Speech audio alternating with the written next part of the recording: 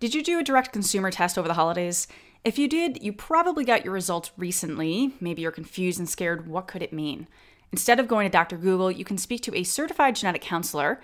And now I have a new resource for you DNA Ally. Think of them as your genetic counselor matchmaker. For $79, you can book a 20 minute session with a certified genetic counselor to answer your burning questions. And DNA Ally is giving DNA Today listeners a discount. Use code DNA today at checkout for 15% off that original $79. So that's only $67 for a session.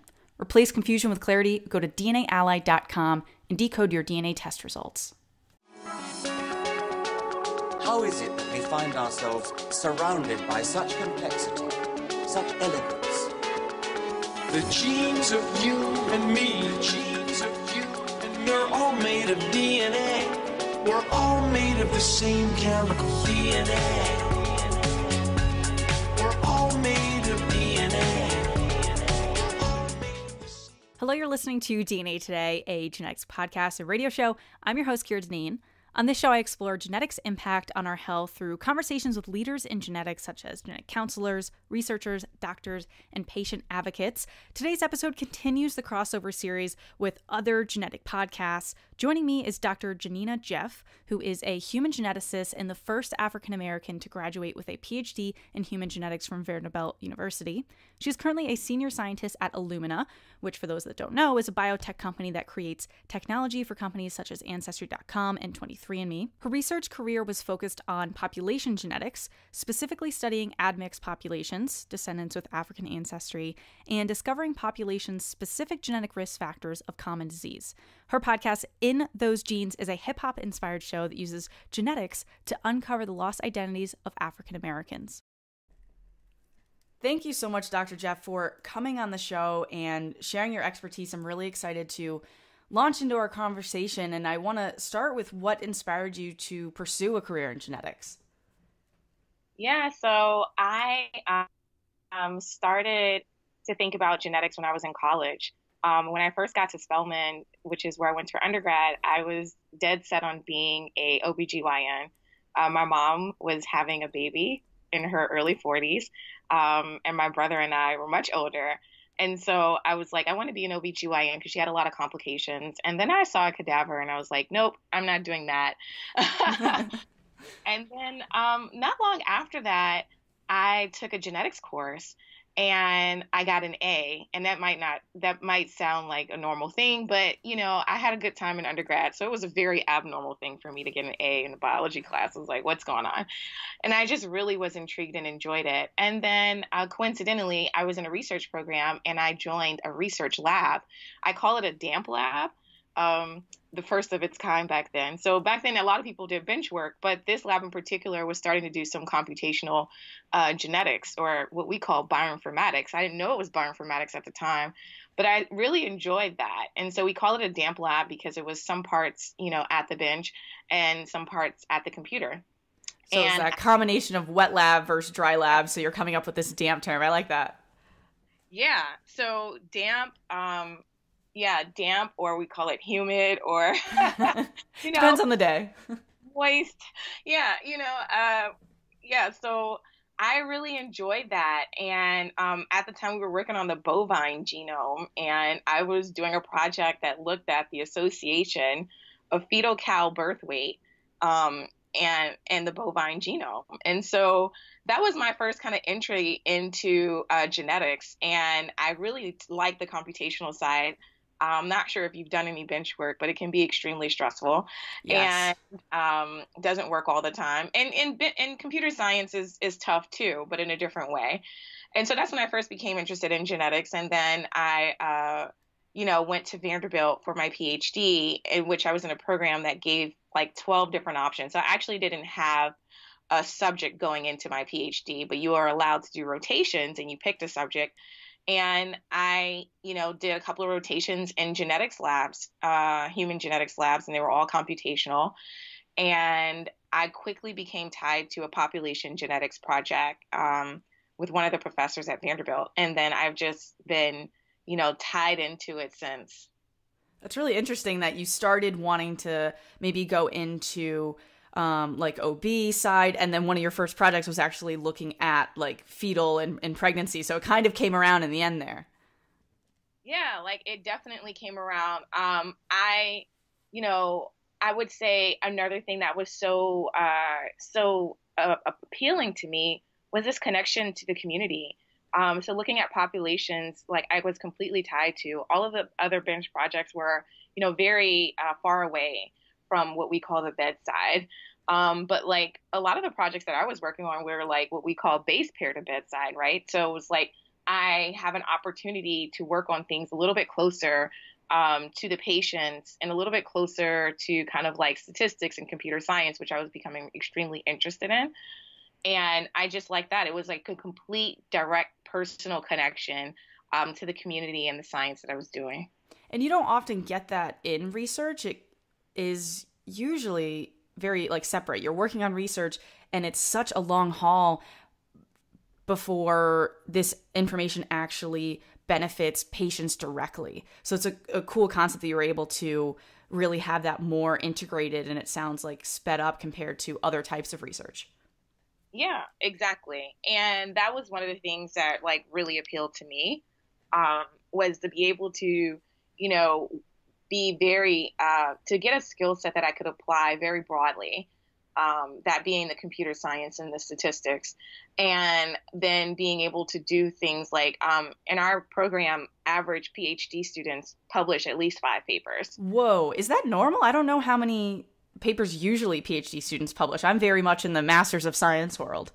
Yeah, so typically you need one publication in order to most most schools it's one publication in order to uh, graduate but um, in the computational sciences, you know, you probably get your first paper in the first two years. That's probably the hardest thing, your first paper. But once you get your first paper, there's so many papers that come after it. And at that time, you know, computational genomics was still fairly new. And I'm not sure if you talked about GWAS on your on your um, on your podcast yet, but yeah, we've mentioned it before. You can explain what that means. Yeah, so uh, these genome-wide association studies, which was a method that became increasingly popular after uh, the sequencing of the human genome and really popular after we started to create technology genotyping array technology that enabled us to kind of assay the entire genome. And so the idea is that it's hypothesis free um, you don't come in with any type of prior biological hypotheses in the genome. And so you're actually asking every variant that represents a, a region in the genome if it's associated with a disease, trait, or phenotype.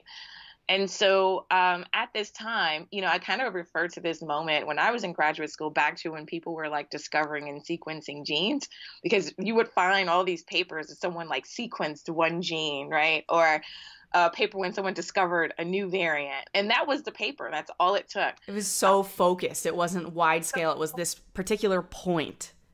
But everyone was so excited about this technology and just about the idea in general, right? And so the same thing kind of happened with GWAS. And I kind of came in at that time where GWAS were really taking off, becoming widely accepted and um, widely used and so we were, you know, in that generation of I per- I published the first GWAS on X and the first GWAS on Y, and and so and the field moves really fast because that was only uh, almost, you know, this was probably seven to ten years ago, um, and now you know to publish a GWAS on anything would just be kind of like you know been there done that, and so um, yeah, so I mean, that was kind of the thing. Like, we were produ- producing a lot of science really quickly, uh, really fast, and it was amazing.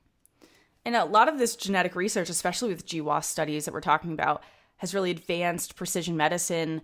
But one of the main things that we're going to talk about on this episode is that most research is with European genomes. And I wanted to pick your brain a little bit about how a more diverse research pool can continue that scientific progress and why we really need this so badly.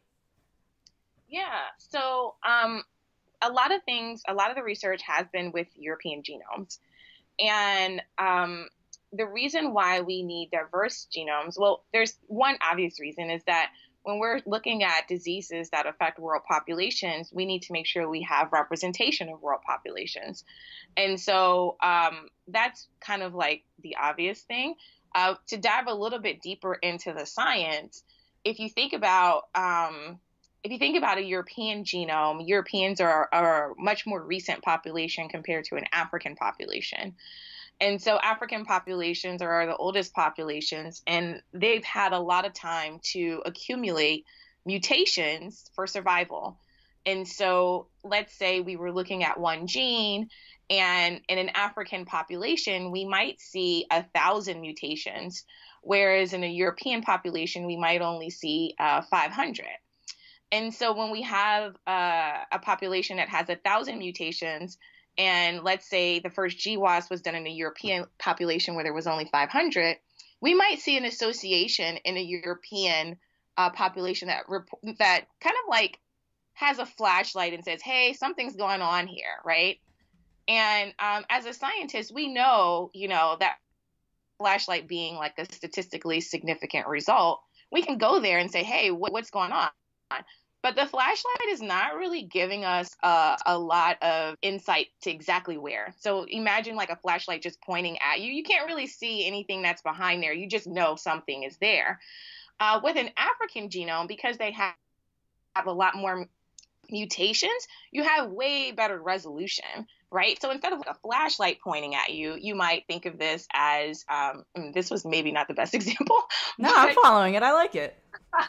you might think about uh, instead of a flashlight, you have a street light or something that's like um, still lighting an area, but in a way in which you can see everything. And so you can go specifically to the area that is associated with disease.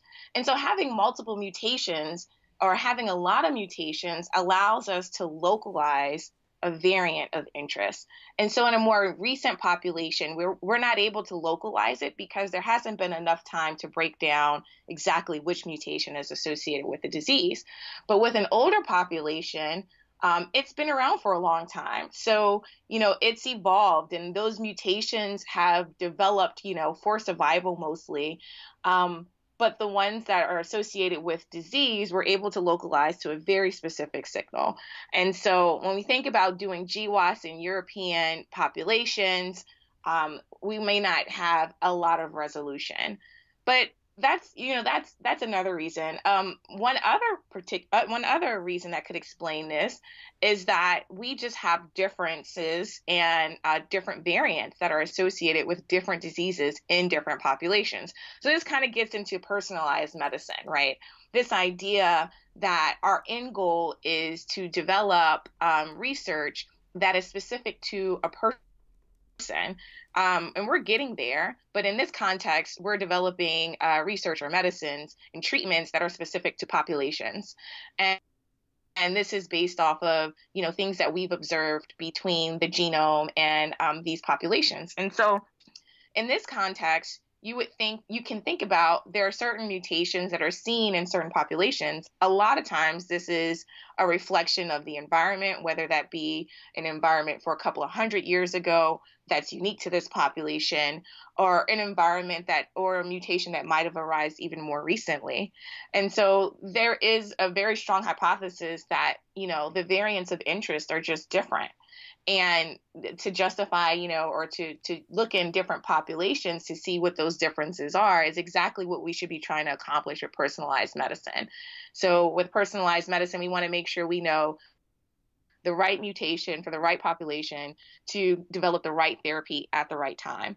And we have to expand that beyond europeans to represent global populations because obviously you know diseases and, and things like that affect all of us I think that those are fantastic points, and that even within different diseases, if we look at a disease like, say, cystic fibrosis, that it's more common in the European uh, populations, but anyone can be a carrier for cystic fibrosis. And the research we have is a lot of the variants that are occurring in the European populations. And so when some people get this genetic testing, they may not be able to say if they find a variant, oh, what exactly is this? Because our research is not that expansive for non-European populations. So that's a, another kind of good point to to tie into all the great points that you're bringing up.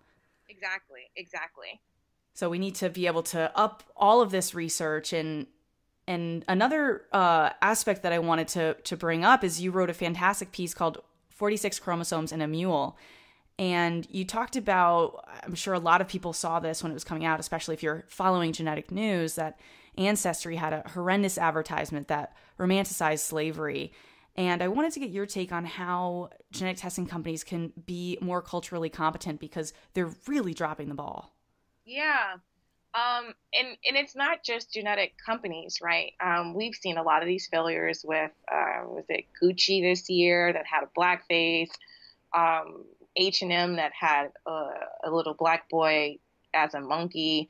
So we've had there's been a lot of lots of these um, these mishaps, and I think the short answer to the question, the short answer to this, is that we have to be very inclusive, um, diverse, yes, but inclusive. And so inclusive in this context means that having uh, people of color or women or uh, people from the LGBTQ plus community present is not just enough, right? That's one step. So having someone there is one step. That's representation. Um, and having ideally someone that represents every group is diversity, not just non white. But inclusion is when you actually empower the people that are there to speak up and to give feedback and I think that is what's missing. So I think now people think that, oh, diversity is non white. And so having just one, you know, Asian man in the room is considered diversity. Well, that's not actually diversity, right? Because the world doesn't look all white with one Asian man. So having diversity is like having that really global representation in the context of marketing. If you're doing an ad targeted towards a group, or if you're trying to increase or you're trying to market to a particular group, that's who should be developing the marketing material having those folks there. But I'm sure you've experienced this as a woman in the workplace, and so have I. You know, a lot of times it can be intimidating to be in a room where you're not often included. So, how do we not only have people there, how do we empower them and let them know that this is a safe place for them to speak up? Now, this wasn't the case with the Ancestry commercial. There were, to my knowledge, af- after doing a lot of research, there were no Black people that were involved in the production of it, except for the actress. But if we had someone there and we also empowered this person to speak up, I do not think this commercial would have seen the light of day. Um, so that's one, and we also need to have diversity, diverse and inc- diversity and inclusion at the decision making level. So who are who's making the decision to green light this? Um, that needs to be talked about too, because having you know di- have including diverse folks at the production stage at the bottom is great, but also having someone to clear this off is is extremely important. Um, one of the things that I think in terms of so that's a way to be more culturally inclusive. But to speak more broadly, and you didn't ask this question about, um, so I'm just going to ask it. you didn't ask this question. Go for like, it. Yeah. I think that a lot of the genetic testing companies, I think the one thing that they miss in terms of participation with uh, non-white participants worldwide is transparency. Because there's a lack of trust for various groups for various different reasons. But I think that people become more trusting the more transparent you are with them. I recently, um, we recently, um, well, we have an episode come out where we talk about what you can do with your genetic data after you get it from um, a commercial testing company. And we talk about one of my favorite companies, uh, DNA Land. And one of the things I really liked about DNA Land and their website and just using uh, th- just using their their um, their tool is that they're completely transparent. You know, they report genetic ancestry and they give full disclosure that you know there's no way to possibly you know 100% accurate accuracy know someone's genetic ancestry, which is true. Um, they're very transparent about what the disease associations mean. They're very transparent about the fact that a lot of their things have not been, you know, uh, inclusive of world populations. They're just honest.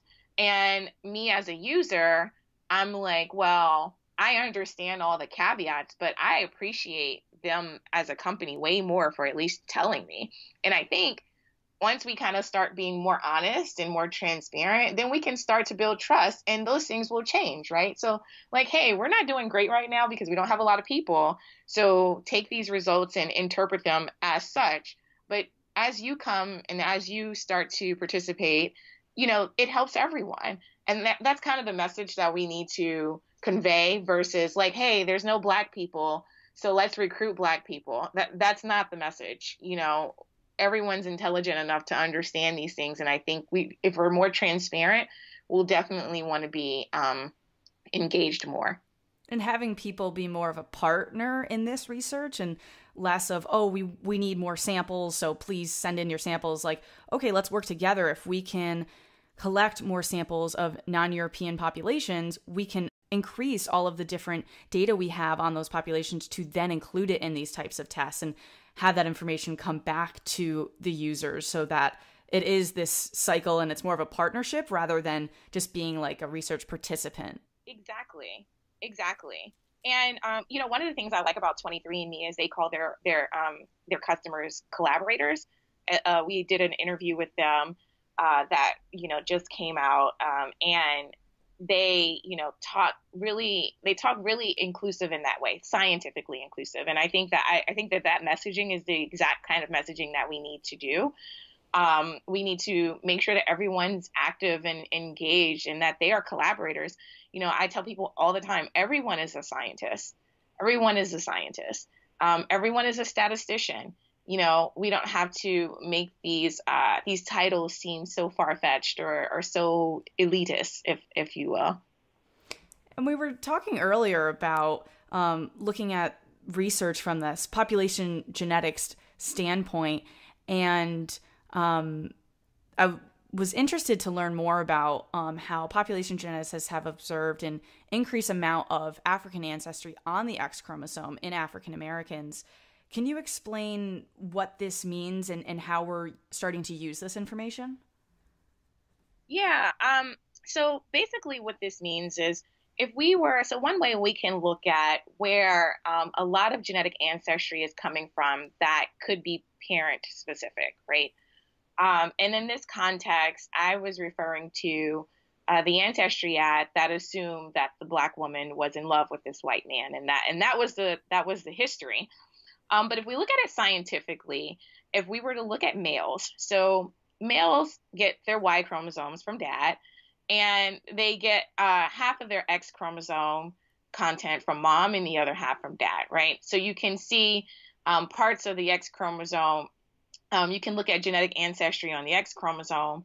And what we've seen recently in black males is that they have increased African ancestry on the X chromosome, which would mean that their uh, mothers are, are black compared to their Y chromosome, which is largely European ancestry.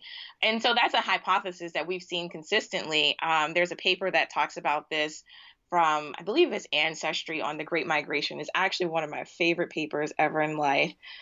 we'll have to link to that in the show notes then, definitely. Yeah. It's an amazing paper, but it, they they observe an increased amount of African ancestry uh, on the X chromosome, and they're focusing on a region of the X chromosome that's only being inherited from mom. Um, so in the X chromosome, you you uh, you have uh, parts of the X chromosome that we call um, PAR, and uh, PAR stands for oh my goodness, uh, what does PAR stand Testing for? my knowledge as well. Something something region. Uh, pseudo-autosomal region. There it is. Yeah. And uh, the so we're not looking at the pseudo-autosomal region because the pseudo-autosomal region would look just kind of like the idea of that is that it kind of mimics the, the autosomes, right? But if we look at kind of like those sex-specific regions, and then we can look at that and say, okay, well, there's increased African ancestry on the X chromosome in Black males, and compared to um, compared to most, so their way we can assume that there's African ancestry coming in that way. Does that make sense? Yeah, I think we are able to see a lot from looking at how things are inherited, especially in terms of which parent that's being inherited from, and talking about the Y chromosome being only passed down through males. And so, usually, when I think of looking at like population genetics, I'm thinking of the Y chromosome. So, it's interesting that it's also really important to be looking at the X chromosome for both of those uh, views. Yeah. So, the reason why people look at the Y chromosome, so the Y chromosome, we can do Y haplotype mapping. And so, um, a lot of genetic ancestry companies, they do sometimes um, an older technology is looking at haplogroups. And so haplogroups are these idea that chunks of a particular chromosome are coming from a particular origin um, at a given time. So, for example, there are Y haplogroups that represent groups within Africa, groups within Europe within Asia, and so forth. And so back in the day, before we started looking at genetic ancestry at the genome wide level, we only focused on um, two kind of major uh, haplo haplogroup groups, if that makes sense, or like uh, two major kind of ways of of, of uh, analyzing genetic ancestry. So one of them is uh, Y chromosome haplogroups, and that way we can only look at that in men because men have Y chromosomes. We can only look at in men, and we can say you know, we can make genetic ancestry predictions whether your Y uh, chromosome haplo, haplotypes match a haplogroup that we've seen from a particular area in the world. So it's still this idea of matching your genome or part of your genome with a reference. And then um, for women, we would look at mitochondrial haplogroups. And actually, everyone uh, male or female can look at mitochondrial haplogroups. And so there's a company, African Ancestry, and they offer, they still offer these tests. I believe Family Tree or MyHeritage, one of them still offers this test as well. Um, in addition to the genome wide test. And so, what they're doing with the mitochondrial haplogroup, which is a little bit more, I would say, uh, robust compared to the Y chromosome, um, just because you uh, you have weight you have a lot more mitochondrial haplogroups in the world because they've been studied a bit more, and you can actually trace these further back. The problem with both of these technologies is that they're somewhat ancient. So you're looking at uh, ancestry 2,000 years ago. And most people, I'm sure, you know, are not really interested in what happened 2,000 years ago, and particularly Black folks. We're more interested in what happened, you know, 400, 500 years ago, right? And so, um, looking at sex chromosome haplogroups, mitochondrial haplogroups, or Y chromosome haplogroups, you won't get that resolution of more recent ancestry. And so, we're able to tell a lot from genetics and be able to really create this story of where we've come from specifically you know within families and looking at this overall population level of looking at migration and there's so much information i mean we could go on and on about this um, and yeah. it's it's really exciting to hear about and I wanted to, before we end, plug your podcast and and really congratulate you on winning Spotify Sound Up Boot Camp. I'm so impressed. I mean, you were selected out of 18,000 applicants. Like that, I mean, that in itself, people should just go listen to it without even knowing what it's about. But um, you launched last month, February 4th. Can you give people a tease? I mean, a lot of topics, kind of what we've talked about, but other topics that you explore on the show, different guests you've had? Yes, of course. Um, so, uh, the podcast In Those Genes is a podcast that uses genetics to decode the lost histories of African descendants. And um, some of the episodes that we've already aired, um, our, our pilot episode um, started with the origin. So, this idea of identities we thought was a good place to start. And this episode focuses on me and my parents and my family and but other things you know the the title of the season similar to um, the op-ed piece is called 46 chromosomes and a mule um, to pay homage to the 46 acres uh, 40 acres in a mule that um, slaves were promised after uh, the uh, the abolishment of slavery and so the first season is all about direct to consumer testing. And we did that because that seems to be the biggest interest uh, in the Black community. Everyone wants to know is it safe? Um, can we do these tests? And so we addressed all of these things in the show. Um, we have episodes where I actually, you know, use my bioinformatics skills and analyze some of my friends' ancestry results. Um, as I said earlier, we have uh, how to guides on what to do with your data if you have results. But one of the big things that I think really stands out in this episode is we talk about um, privacy, and we we talk about the major companies. We have an interview with 23andMe. We have an interview with African Ancestry. um, and uh, a new company called Afro Roots. So we interviewed a lot of the big companies um, to learn about their methods and what they're doing and what they could be doing differently. In addition to, you know, what you can do with your data, how do you protect your data, what are the things you should know, in a very fun way. So the show is hip hop inspired, and so at the top of every show, we have a segment called Genes for the Culture, where I take a genetic concept and break it down using Black culture. Um, I poorly did that today when I was talking about the flashlight and your not poorly at all. I hope the idea of the point was that was completely off the fly. Um, for the podcast, though, it's a really highly produced podcast. Lots of music, lots of bells and whistles. It's actually taken us over a year to produce, but I'm really excited. Um, and now that we're live, it, it, just feels amazing to have this project into the world. Um, to really have you know something that exists for people to go to listen to and learn you know my biggest goal with this podcast is to make sure that we start to build the bridge between um, communities of color and research and as i said earlier empower everyone to dig deep and find the inner scientists within them and find their value um, in their genome you know we're not really often talked about in terms of value. That would be another thing I would say about companies. Let's talk about how value we are, how valuable we are, and let's talk about a positive story of how a lot of things that society might have painted as negative from African descendants is actually a very beautiful and positive story. So we're really trying to change that narrative.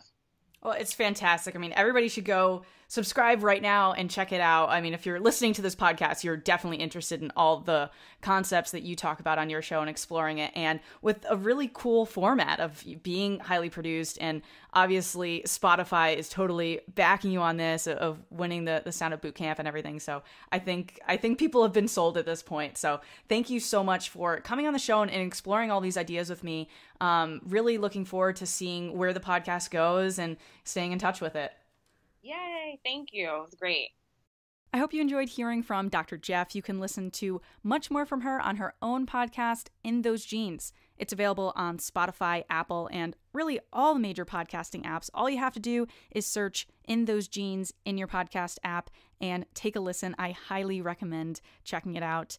If you are on social media and want to connect and follow them, you can look them up on both Twitter and Instagram. It's the same handle, In Those Genes Pod. P-O-D, and the website is inthosegenes.com where there's even more information. There is over 100 episodes of this show, and they are all available on dnapodcast.com. And you may not know that each episode has a blog post associated with it for more information. Sometimes this is links to articles or studies we talk about. There is images of the guests on there and so much more. You can also follow me on Twitter at DNA Podcast, on Instagram at DNA Radio. Love connecting with you all on there. And any questions for myself or Dr. Jeff can be sent into info at dnapodcast.com. We really like hearing from you and what your thoughts are about the show. If it inspired new way of thinking for you. If you come up with additional questions that we didn't get to during the interview that are just burning questions of yours, we would love to answer them for you. Again, the email is info at dnapodcast.com. Don't forget to leave a rating and review on podcast apps. I really, really appreciate when you can take a couple minutes just to leave a rating and review because other listeners can find it. And I also get to see your comments on the show publicly. Really appreciate that. Before we end the show, I wanted to remind you of DNA Ally, or as I like to think of them, the genetic counseling matchmaker. They were actually guests on last episode 116. DNA Ally is helping people make sense of their direct consumer genetic test results so understanding your results become just as easy as getting them in the first place. You might think, why not just ask my doctor? But to be honest, most doctors don't have expert training in genetic testing. Genetic counselors, on the other hand, have two years of graduate training specifically in genetic testing. I should know, I'm almost done with my degree. If you have questions about your direct consumer test result, like 23andMe or Ancestry, then take this opportunity to speak with a certified genetic counselor for 20 minutes. You can learn about what your results mean for your health and the potential impact to your family members. Since you're a DNA Today listener, DNA Ally is giving you an exclusive discount. Use code DNA Today at checkout for 15% off that original 79. So that's $67 for a session to have your questions answered. Replace confusion with clarity. Go to DNAally.com and decode your DNA test results. Thanks for listening and join me next time to learn and discover new advances in the world of genetics. The genes of you and me, the genes of you and me are all made of DNA. We're all made of the same chemical DNA.